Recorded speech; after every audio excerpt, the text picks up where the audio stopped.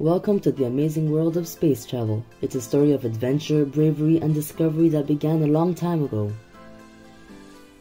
People have always dreamed of traveling to space and the planets. In the 20th century, people started to build rockets and sent them high into the sky. The first artificial satellite, called Sputnik 1, was successfully launched on October 4, 1957. It stayed in orbit around the Earth for three months until it fell back and burned up in Earth's atmosphere. But the real adventure began in 1961 when an astronaut named Yuri Gagarin became the first human to journey into space.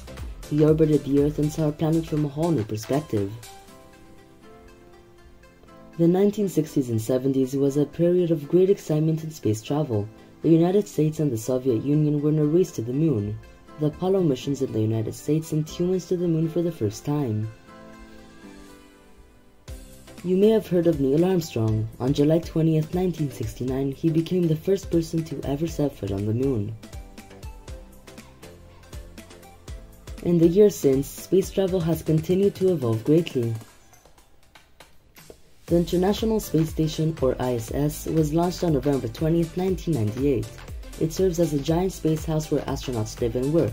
They do experiments, grow plants, and even play games in zero gravity.